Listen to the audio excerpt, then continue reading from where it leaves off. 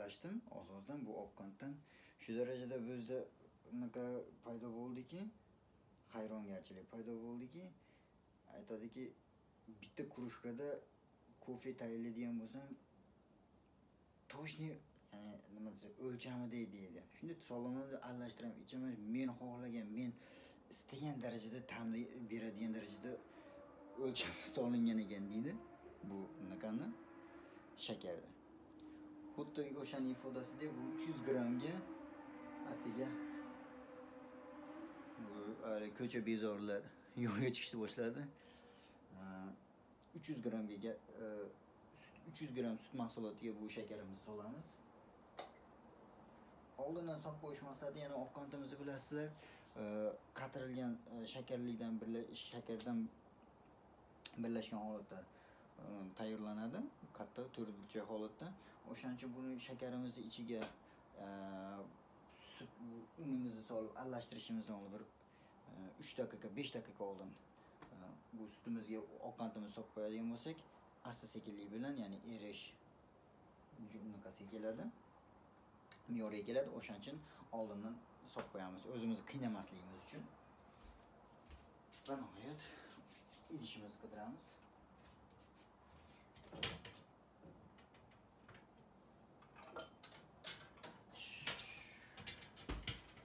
Mana bunday idishdan istagan odam xohlagan idishidan qo'llanish imkoniyatiga ega men mana bunday kastrulkani ishlataman deb o'zimda menimcha zarari yo'q. Yaponiyada bori shukan endi biz studentmiz boshqa nima qilamiz ho'p. Undan keyin tak buni ochamiz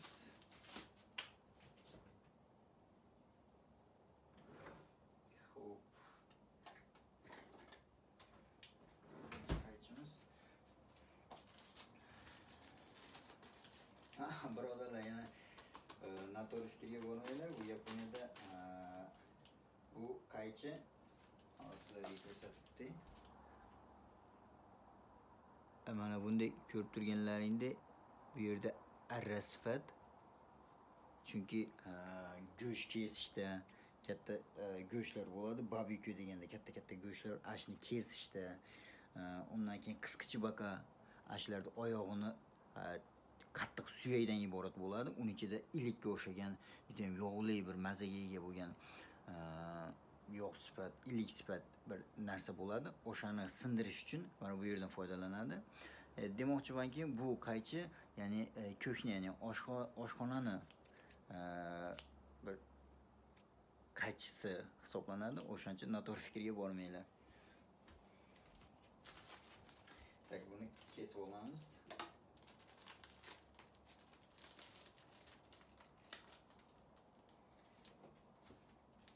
Undan keyin buni asta sekinlik bilan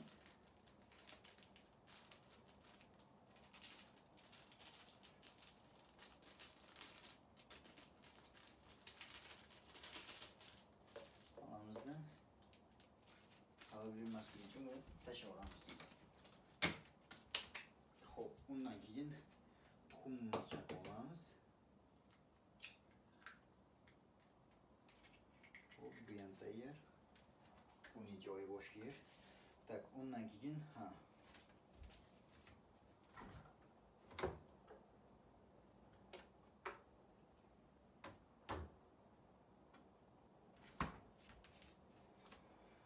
hop birodarlar sizlarga nima deb endi buni tarjima qilib beradigan bo'lsam e, aytaylik mana bu yerga ko'rib turganlaringdek margaringa o'xshagan narsa non ustiga qo'yilgan ya'ni ko'katlar bilan Э, nonga ya'ni э, o'shanday bir pishiriqlarga qo'shiladigan mahsulot e, ta'm beradi judayam bir mm, margaringa o'xshagan ochiq qilib aytadigan bo'lsak ya'ni o'zbekcha o'zbekcha qilib aytadigan bo'lsak margarin hisoblanadi bu.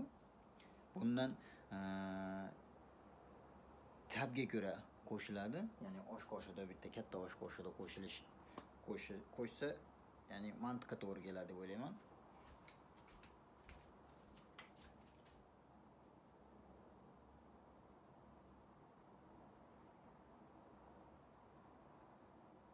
bor ana kolxoz degan uchun degandek yana ozgina bordik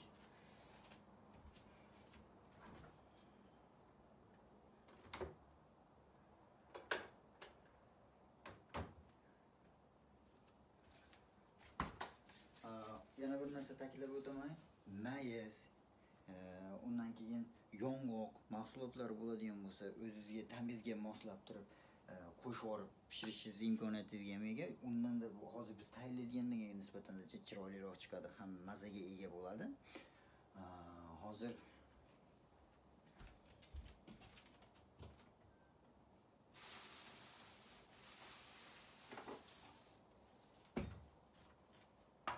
menda ham bor. Yong'oq. Endi hozir bizda soat uch yigirma besh bo'lyapti ekan o'zlaring bilasizlar bu yong'oqni chaqish kerak. Bu vaqtda chaqadigan bo'lsak bilasizlar ya'ni dom. Domda hamma narsa eshitiladi. O'shaning uchun bu safar qo'shmaymiz.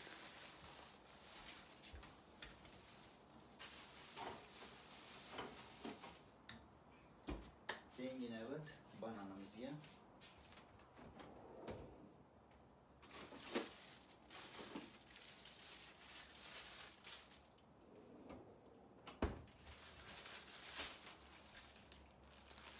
o'rtoqlar sizlarga bitta narsani aytib o'tib ketaman bananni e, misol uchun o'zbekistonda ko'radigan bo'lsak sotuv rastalariga qo'yilgan bo'ladi. Sap sariq ozgina dog' tushib qoladigan bo'lsa e, olmaymiz endi albatta to'g'ri bu aslida bizni xalq bu banan degan narsa juda qimmat bizni davlatda.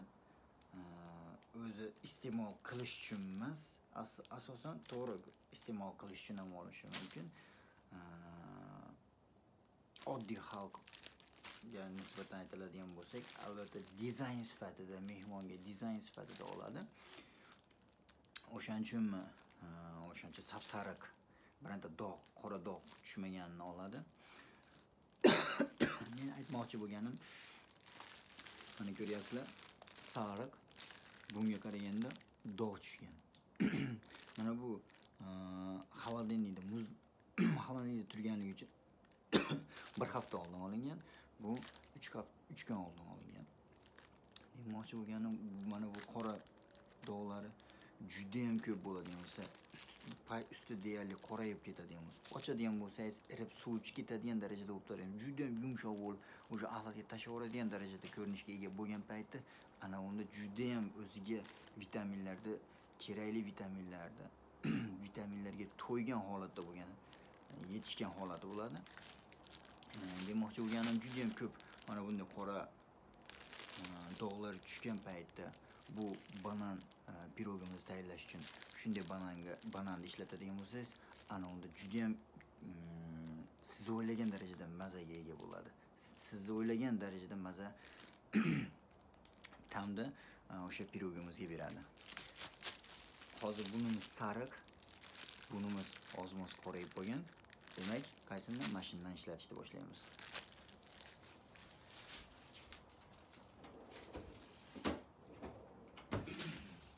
ozgina taom qurib qoldi uning uchun ozgina bir narsa ichamiz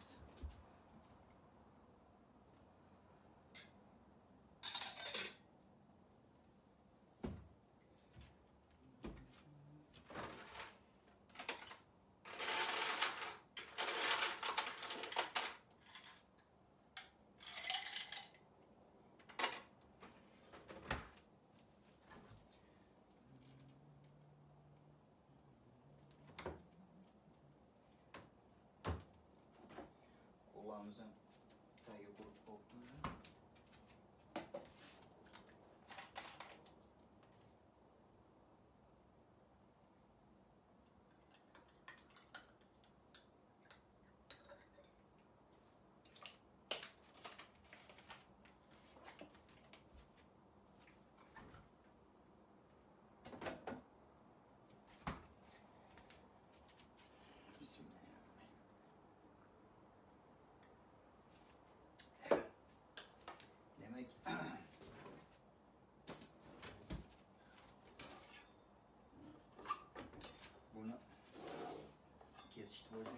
albatta bananda e, bu to'rtta bo'ladigan bo'lsa ikkitasini faqatgina ikkitasini qo'llanamiz hozir uch yuz gramm un uchun ikkitagina qo'llanamiz agar olti yuz gramm bo'ladigan bo'lsa unga qarab ikkita yoki uchta ham qilishingiz mumkin.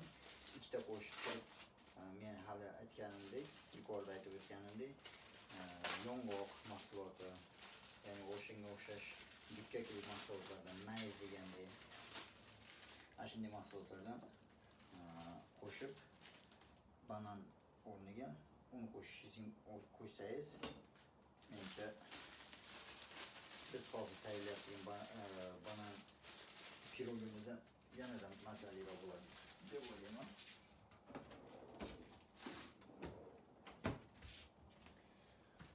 ho'p demak hali ancha po'sti qattiq mana ko'rib turganingizdek oppoq. U men aytgan narsam sal sarg'ayib qorayib qolgani ya'ni buni ichida ezishga ham unchalik qiyinchilik tug'dirmaydi. Endi hozir bunda ozgina qattiq. Ya'ni kesish deganda aytaylik e, bir santimetr bir yarim santimetr kattalikda e, hajmda kesish kessangiz ya'ni maydalashga qulay bo'ladi buni ezishga. Aytaylik hozir bu ozgina qattiq bananimiz. Bundan yana ham kichkinaroq to'g'rash imkoniyati to'g'rasangiz e, maydalashga oson bo'ladi. Faqatgina bu sutga kuy sutni kuyganingizda buni ichi sutni ichida banan qayda borligini ko'rinmaydi. O'shaning uchun e, buni ezishga qiyinchilik juda qiyinchilik tug'diradi. O'shaning uchun ya'ni albatta esingizdan chiqarib qo'yadigan bo'lsangiz bu e, banan pirogimiz ichida butun bo'lib qolib ketadi. O'shaning uchun iloji boricha sal bir yarim santimetr bir santimetr kattalikda kesib olib unimizni ichiga solamiz. Va 300 gramm sutimiz bilan ichiga solingan shakarimizni uni ichiga solamiz kuyamiz va tag qismini chayqab solamiz ozgina qolyapti buni suv bilan aralashtiraveramizda chayqab chayqab hoppa.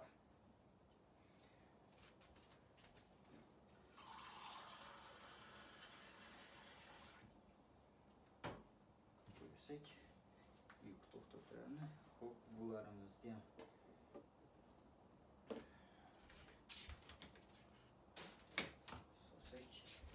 tagining ustiga ho'p ana endi ezib olishimiz uchun.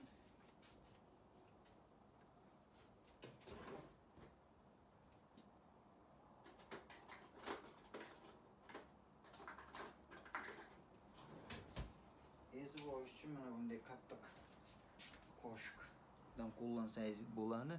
Endi bu qoshiq yaponiyada e, bilasizlar guruch ko'p. Guruch mahsulotini ko'p yeyishadi qaynatib.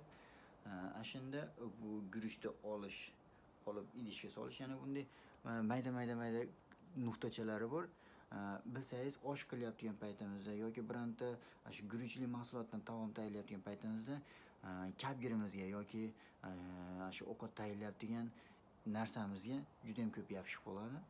Qaynatilgan guruch albatta bilasiz juda ham yopishqoq hisoblanadi. Mana bunday tesh tesh ya'ni e, nuqta nuqta qanday bo'rtib bo'rtib chiqarilgan narsa. Kallasi kuchlilikdan shunday narsani ishla ixtiro qilibdiki guruchni bitta donasi yopishmaydi bunga. O'rtoqlar bilib qo'yinglar. Deydiyu hojiboy tojiboy xuddi shunday mana bunday qattiq mahsulot plastmassa o'shanda e, bananimizni и e, undan keyin e, biroz o'nja biroz oldin solgan ana shu ovqatimizni bu bilan ezib majolaymiz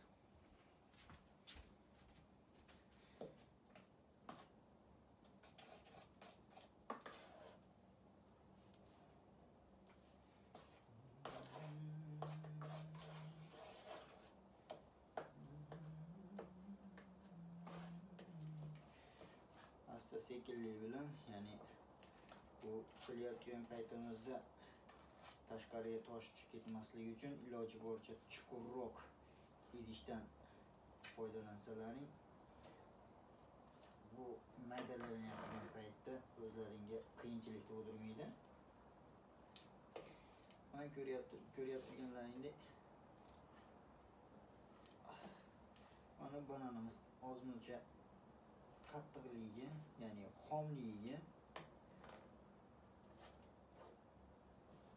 ozmuncha qiyinchilik ya'ni qiyinchilik deganda sa- na- faqatgina vaqtimiz sarflanyapti ha biroz oldin- oldin aytib o'tganimdek e, yapon tili bilan turk tilini esdan chiqarib qo'ydik えっ、と、こんばんは皆さん。今日は本日は、えっ、と、バナナのケーキつけて、えっ、と、ちょっと練習してみたいと思います。なので、えっ、と、さっきから、えっ、と、ずっとオズベク語で説明しちゃったんですけど、申し訳ないですけど、えっ、と、これから少しずつ日本語でどういう形でどういう感じで何入れたか少しずつ教え教えていきます最初はえっ、とホットケーキにあのやつ 300g かな。そのぐらいやつにえっ、とだいたいスプーンで大きいスプーンで一つ大きいスプーンで1本。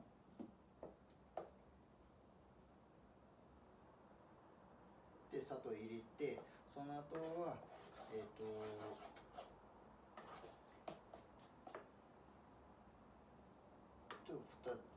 つ2本バナナ入れてそれで混ぜて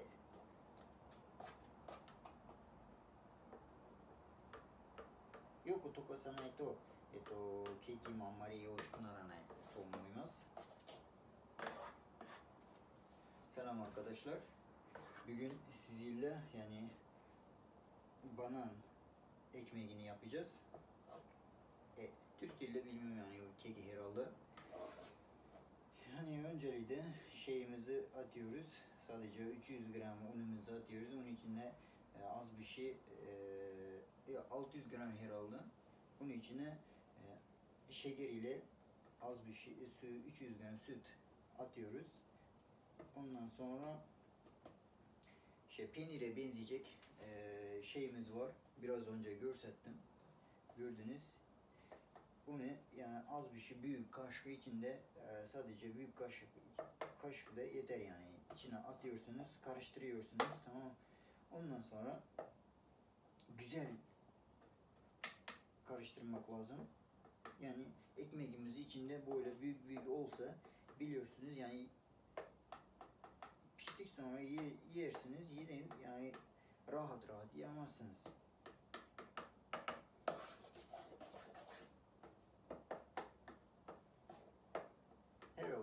Herhalde yani bu kadar biz bu narsani tugatib oldik deb o'ylayman mana bunday ko'rinishga ega bo'ladi ozgina o tosh tushib ketmasin Xo'p, undan keyin endi pishiradigan narsamizni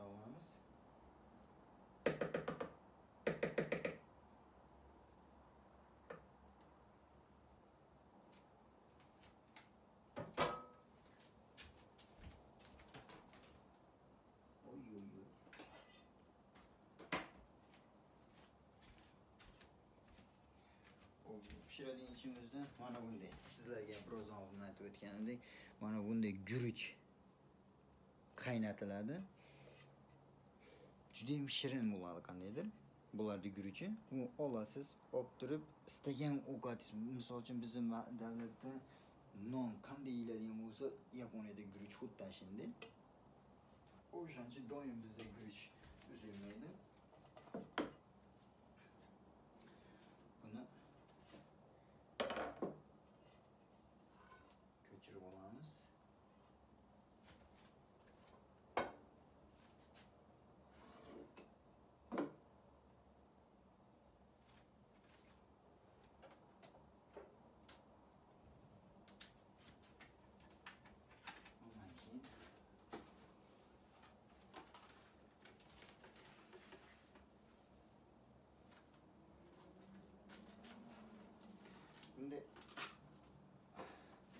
Alafan, ya'ni Rab bilan hozirda Wikipedia degan bo'lsak, har xil narsalardan himoya qiladi. Undan keyin buzdolabimiz, ya'ni холодильнигimiz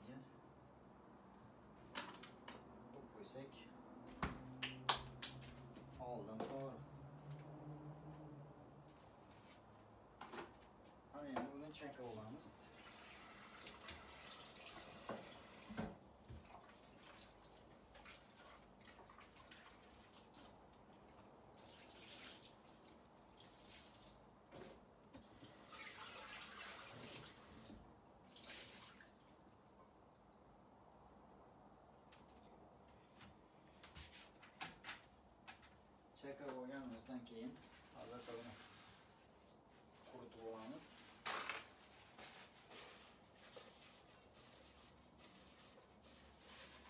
chunki buni ichiga hozir yog' surtamiz negaki yog' surtishimizdan maqsadimiz buni pishgandan keyin pirogimizni o'ntarish paytida chiroyli e, pishishi asosan orqa qismi asosan chiroyli pishishi va ko'chishiga katta yordam beradi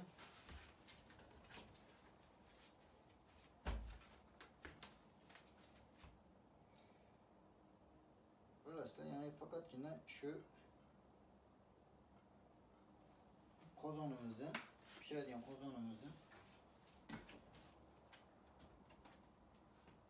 devorlarini namlash uchun faqatgina o'shaning uchun ya'ni ozgina solamizda qog'ozdami qo'ldami mana bunday. Surtib yurgizaveramiz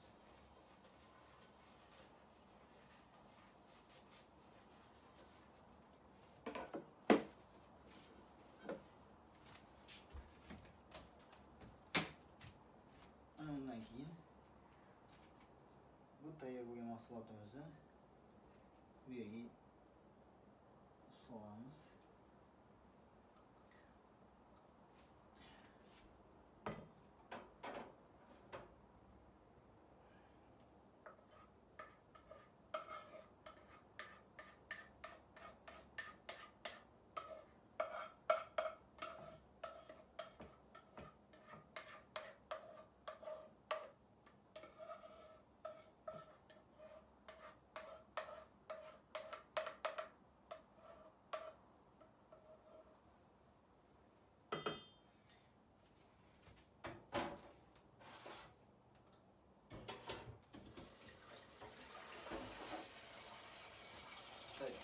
Hazır.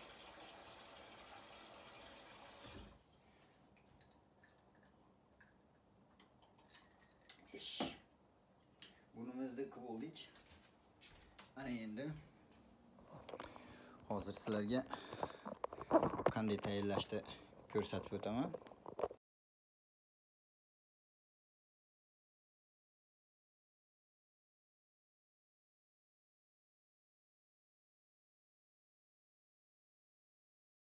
Mana o'rtoqlar, ko'rib turganlaringdek bananki unaqami pirogimizni xamiri tayyor bo'ldi. Ana endi buni qozonimizni e, pechimizga solamiz.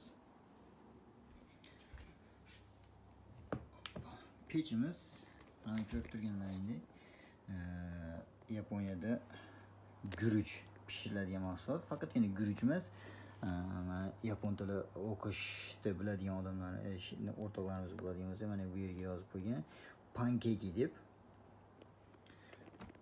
Bu yerda ochamiz va qozonimizni bu yerga solamiz. Bekitgandan keyin kosu kosu deydi ya'ni buni bosamiz ko'ryapsizlar pastga tushyapti mana bu chiziqcha pankekiga keldi ya'ni 35 daqiqa deyapti bosamiz start. Ya'ni boshlanish albatta 35 daqiqa bu pirogimizni pishirishga bu vaqt yetmaydi albatta 35 daqiqadan so'ngra 35 e, daqiqadan keyin e, bir signal beradi tit degan signal. Undan keyin yana bir marta biroz oldin qilganimizdek kosu deydi. Ya'ni o'sha bu pankeki degan joyga keltirib turib yana start qilamiz. Hammasi bo'lib turib bir soati yigirma bir soati o'n daqiqa o'n besh daqiqa vaqt ketadi. Undan keyin sizlar bilan bu tayyor qilgan mahsulotimizni sifatiga ta'miga e'tibor bergan holda yeb ko'ramiz. Pishgunga do'r sizlarga va menga katta tanaffus.